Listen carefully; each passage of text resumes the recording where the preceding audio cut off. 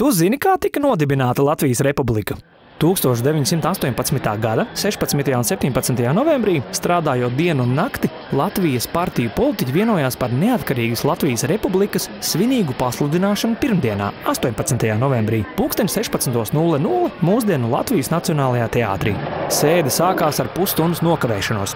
Tās laikā tika nolasīta vienošanās par Latvijas Tautas padomas izveidošanu un īsa deklarācija par Latvijas valsts pamatprincipiem.